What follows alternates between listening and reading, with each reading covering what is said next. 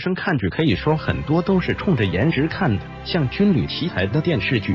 就很少有女生回去追，除非那也是自己爱豆演的。要是演技也能跟得上，那就更加赏心悦目了。而且经常是看一部剧就会再跟着换个老公，尤其是那些电视剧中的古装美男，几乎没有妹纸能够抵抗得住。爱美之心谁都有的，所以大家就一起欣赏美男，岂不是更美滋滋？不过男主都是女主的，男二才是真正属于这些观众的。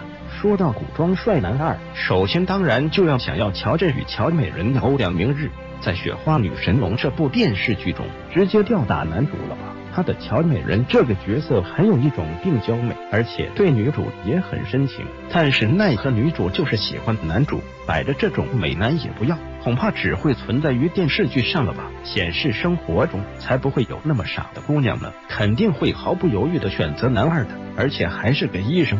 这个职业也不错，现在单身妹纸梦寐以求的类型之一了。还有就是四美里面的钟汉良，在《康熙秘史》里面也是成功收获了一大波迷妹，饰演大清第一词人，这样的才华加身又善骑射，文武双全的人才，谁会不喜欢？刚开始和表妹相爱。但是表妹被嫁给了皇帝，后来喜欢青格，皇帝又嫉妒她，各种针对她，一直没有实现自己抱负的纳兰，最后郁郁而终，眼看着他一口血喷了出来。观众的心都揪了起来。钟汉良还是很帅的，在剧中比夏雨的皇帝更有吸引力。还有近几年的非常受观众喜爱的一个古装男二，就是宇文护。平时看多了徐正熙的现代装，觉得挺有精英范。但是这个角色非常有魅力，虽然一直都在谋权，但是却是个非常深情的人。